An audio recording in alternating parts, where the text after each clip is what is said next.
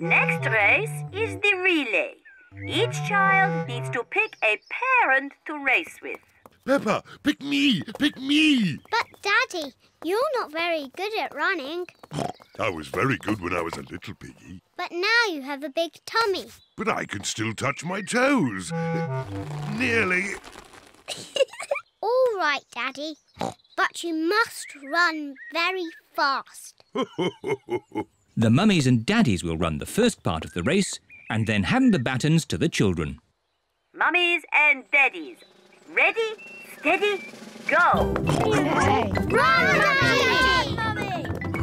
Daddy Pig is in the lead. Come on, Daddy! Come on, Daddy! Thank you, Daddy. You did very well. Now it's my turn to Peppa, stop talking and run! Oh!